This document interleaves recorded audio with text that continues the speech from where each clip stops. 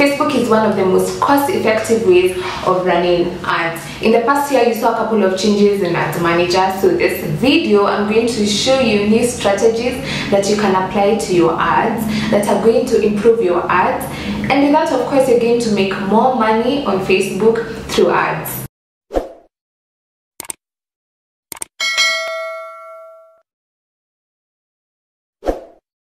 Everyone, my name is Miriam. Welcome to my channel for weekly social media marketing and entrepreneurship tips, tricks and tools. If you're new here, welcome and thank you for choosing to watch my video today. If you're a regular, thank you for choosing to watch yet another video and I hope the new ones and the regulars have subscribed.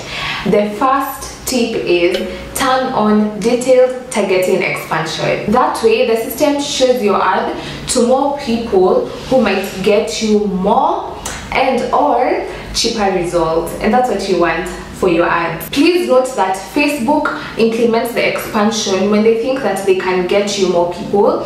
If they can't, then they won't implement it even if it's on. And I also want you to know that um, the detailed targeting expansion only applies to the detailed targeting doesn't apply to age um, location gender. Meaning if let's say you've chosen your age bracket as maybe 24 to 34 then people who are not among that age group won't be able to see it. Same as gender. If let's say you've chosen um, maybe women only and in as much as Facebook might think that men are also interested in it, even if you've chosen the detailed targeting expansion, it won't show to men. So it only focuses on the detailed targeting. The second tip is improve your landing page. Ads will bring you the clicks, they will bring visitors to your landing page, that's your website, but it's your website that's responsible for the sales.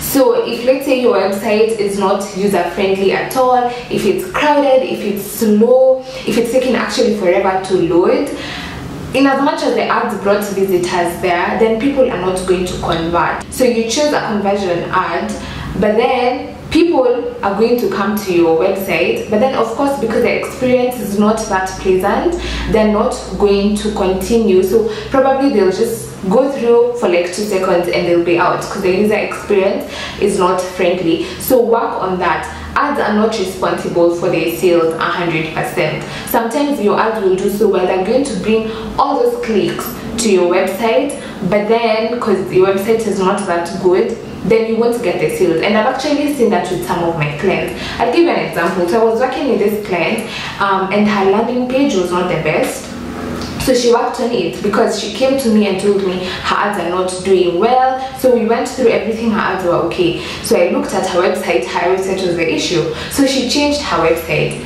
Believe me when i tell you that the next month her sales increased by 62 percent. She didn't change anything else in her ads. So her detailed targeting was the same. The age gender everything. Her demographics everything was the same. But her website was the only thing that she changed and her sales increased by 62%. So if you want your ads to do well, if you want them to convert those clients for you, then please also make sure that your website supports that. The other thing is, if your website is not user friendly, that makes your ads way more expensive because if I see your ad today and I already know that that website is not user friendly, what's going to happen is I want to click on that ad and many more people won't click on that ad and so if your ad is not getting clicks, of course it's going to be more expensive. So please change your landing page and you're going to see all the difference that it's going to make and your ads are going to do way better. The third tip is retarget. Retarget, retarget, retarget. I could sing a song. Retarget. And I'm going to give you three reasons that should give you every single reason to retarget. The first one is retargeting is known to bring one in four consumers back to complete a purchase one in four so if four people came to your website but didn't complete their purchase you retargeting guarantees you that at least one is going to complete the purchase and that's what you want for your business. The second reason is retargeting ads have a click-through rate of 0.7 percent which is 10 times higher than a regular display ad The third reason is retargeting increases your brand awareness by keeping your business's name in front of your customers. So if you see in my closet, in my closet all the time, in my closet all the time, in as much as you're not going to buy boots from me and I'm asking you to buy boots from me, in, ca in case you're not going to buy boots from me today, at least you're aware that if I want boots, I'm going to go to my closet.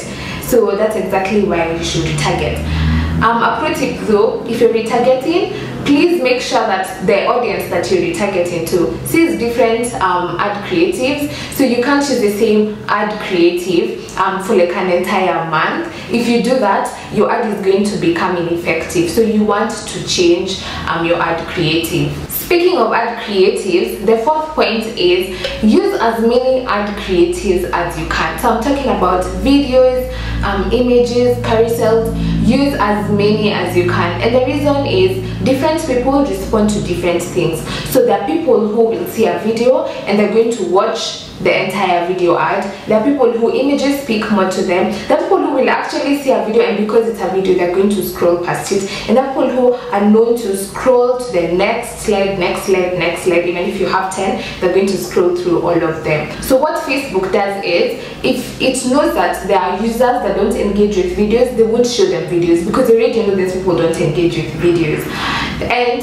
if let's say 20% of your target audience does not engage with videos, what that basically means is if you run a video ad, then 20% of your target audience won't be shown this ad because the system already knows that these people don't engage with videos. So someone who doesn't engage with videos is maybe someone who won't even watch past maybe the three second mark. Those are people who don't engage with videos. So how you ensure that this doesn't happen to you is you create a campaign with different ad sets.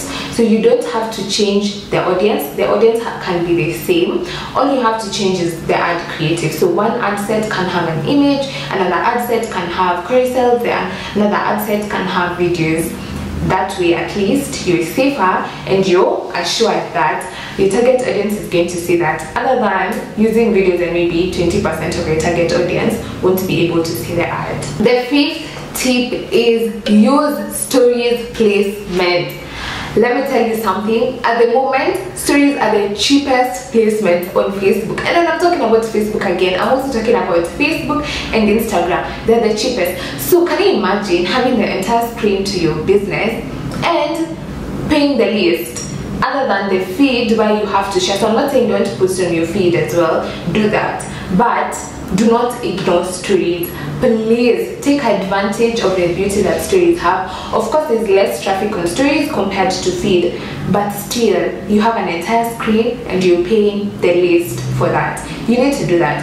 And if you want your stories to do really well then make sure that um, your ad design for the stories um, is a vertical design which is 9 to 16 and that's the recommended ratio by facebook. The sixth and last tip or ad strategy that should apply this year is use automatic placements especially if you're new to art um, you don't know which placements are going to do well for your business.